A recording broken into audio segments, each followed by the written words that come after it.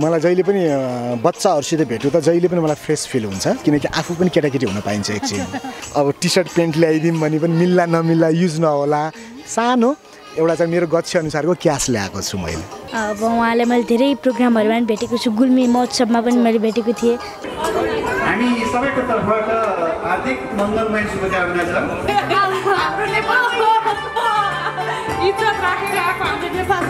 सबैजना उपस्थित हुनुभयो। धेरै नै खुसी लागेको छ। सूचना मनोरञ्जन र ताजा समाचारको लागि बुद्ध क्रिएसन नेपाललाई सब्सक्राइब गर्न नभुल्नुहोला। साथै छेउमा रहेको बेल आइकनलाई क्लिक गर्न नभुल्नुहोला। नमस्कार तपाईँले हेर्दै हुनुहुन्छ Buddha creation Nepal online channel. अनि आज चाहिँ म ओम साई क्याटरिङ नयाँ भन्नेश्वर भनेर भन्न मिल्दैन। पुरानो भन्नेश्वरमा आइसकेकी छु। सो अब किन आएँ भन्दाखेरि चाहिँ हाम्रो एकदमै नेपालको शान मान के के भन्ने होइन? एकदमै मेरो फेभरेट व्यक्ति पनि हुनुहुन्छ उहाँ चाहिँ आयुष केसीको जन्मदिन परेको छ। अनि आयुष केसीको जन्मदिनमा मैले अर्कै एकजना मेरो फेभरेट व्यक्तिलाई पनि भेटाउने मौका पाएको छु। हेमन्त शर्माजी हुनुहुन्छ। सो एकैछिन भने उहाँसँग कुराकानी गर्छु म। अब के कति कामले आउनुभयो भनेर त मैले सोध्न मिल्दैन उहाँलाई। अफकोर्स बर्थडे सेलिब्रेट गर्न आउनुभएको छ होइन? सो यहाँ दुवैजनालाई कार्यक्रममा स्वागत छ। हस्. धन्यवाद। सो फर्स्टमा आयुषलाई जन्मदिनको धेरै धेरै धेरै शुभकामना। हस् धेरै धेरै धन्यवाद। सो हेमन्त दाई खबर के छ हजुरको? एकदमै राम्रो छ। हजुर अनि आयुषको? हजुर एकदम ठिकठाक भनौँ अब आज जन्मदिनको बेला त अब एकदमै ठिकठाकै हुनु पऱ्यो हजुर ठिकठाकै छु। अबको सेलिब्रेसनलाई लिएर हजुर एकदमै एक्साइटेड छु। अब सबैजनाले बोलाएको थिएँ र एकदमै सबैजना आउनुभएको छ जमघट भएको छ सबैजनाको। अब हाम्रो पुरानो जुन यादहरू थियो त्यो पनि ताजा बनाउनको लागि चाहिँ अब यहाँ आउनुभएको छ। एकदमै खुसी लागिरहेको छ। हजुर।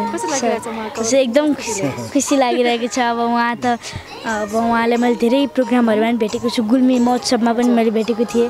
सर आउनुभएको थियो पर्फर्मेन्स दिनुभएको थियो। जब सर आउनुभयो स्टेजमा म चाहिँ अब एकदमै छक्क परेको थिएँ। अनि त्यसपछि हाम्रो जज जज पनि हुनुहुन्थ्यो सुरसाल आइडलमा। र त्यो सुरसाल आइडलमा विनर पनि हुन सफल भए र उहाँहरूले उहाँ एकदमै सपोर्ट गर्नुहुन्थ्यो। मलाई मात्र नभएर हाम्रो कन्टेस्टेन्ट सबैजना कन्टेस्टेन्टहरूलाई एकदमै माया गर्नुहुन्थ्यो।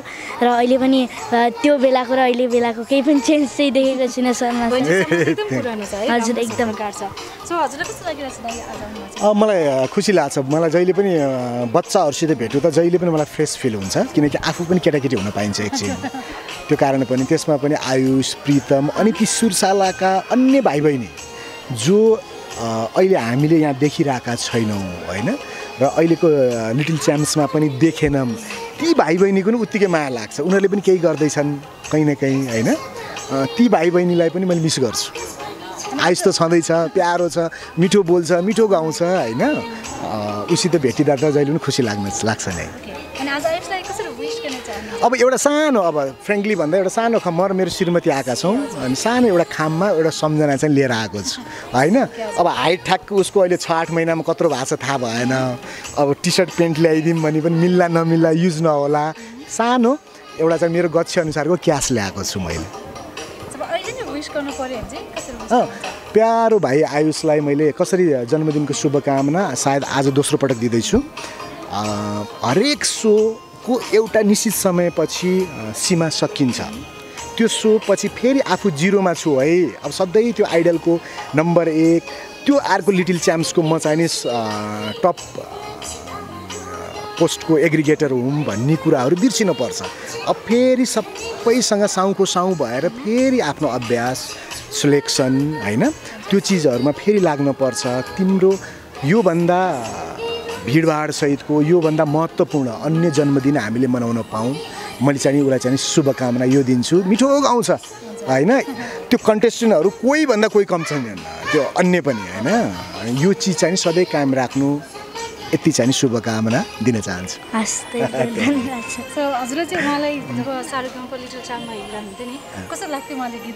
होइन मलाई राम्रो लाग्थ्यो। म सुरुको दिनमा ऊ पनि कन्भर्सेसनमा हुन्थ्यो फेसबुकबाट गीत सेलेक्सनको बेलामा।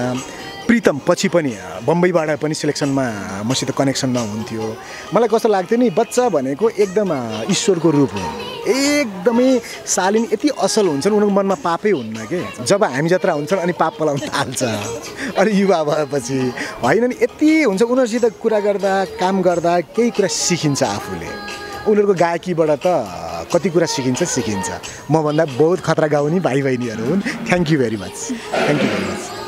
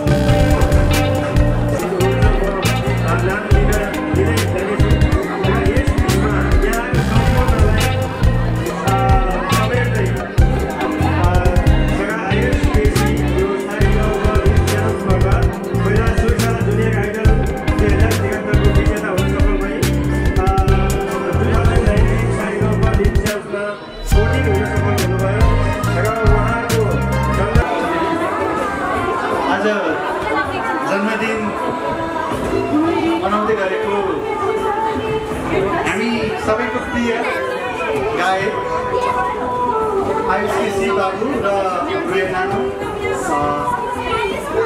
को नाम मलाई अलिकति नानीको नाम के हो? समीक्षा चौलागाईलाई हामी सबैको तर्फबाट हार्दिक मङ्गलमय शुभकामना छ। हामी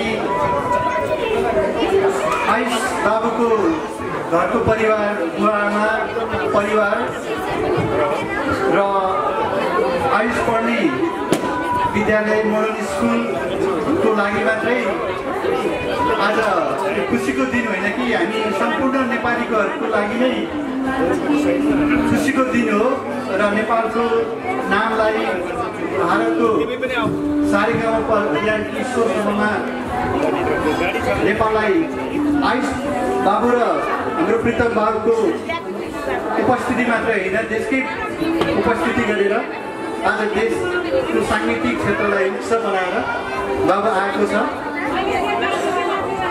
बाबुले बाबुको यो साङ्गीतिक यात्राको उचाइ अझ चुम्दै जाओस् र साँच्चीकै भोलिको दिनमा आयुषबाट नेपालमा एउटा छुट्टै नै साङ्गीतिक क्षेत्रमा विगतका हाम्रा नारायण गोपाल अमर गुरुङदेखि लिएर हाम्रा स्रष्टाहरूले जसरी साङ्गीतिक क्षेत्रलाई उच्च बनाउन सफल हुनुभएको छ त्यो सफलता हासिल गरोस्। र बाबुको सुस्वास्थ्य पढाइ र सङ्गीत सबै सँगसँगै उचाइ लिँदै जाओस् भनेर म मेरो व्यक्तिगत तर्फबाट र विद्यालयको तर्फबाट हार्दिक मङ्गलमय शुभकामना। म गायक आयुष केसीको तर्फबाट हार्दिक नमस्कार टेक्न चाहन्छु र आज सदीक्षा दिदीको पनि समीक्षा दिदीको पनि बर्थडे भएको कारणले र हामी दुवैजनाको बर्थडे भएको कारणले चाहिँ यही सन्दर्भमा चाहिँ हामीले आज यहाँ मनाएका छौँ र यहाँ सबैजना उपस्थित हुनुभयो धेरै नै खुसी लागेको छ। र हजुरहरूले माया गरेर सपोर्ट गरेर म अ, पुग्न सफल भएको छु र अझै अगाडि बढ्नको लागि हजुरहरूको नै सपोर्ट चाहिन्छ साथ सपोर्ट चाहिन्छ र यहाँ सबैजना देखिरहेको छु ठुलो बुवा अ, सबैजना अङ्कल आन्टीहरू र सर गुरुहरू सम्पूर्णलाई देखिरहेको छु दाई दिदीहरूलाई र एकदमै खुसी लागिरहेको छ र पुरानो पुरानो जुन क्षणहरूलाई ताजा बनाउनलाई आउनुभएको छ र एकदमै खुसी लागिरहेको छ र सम्पूर्णलाई धेरै धेरै धन्यवाद दिन चाहन्छु र अहिले पछि म आफ्नो साङ्गीतिक प्रस्तुति राख्नु नै छु र अहिलेको लागि चाहिँ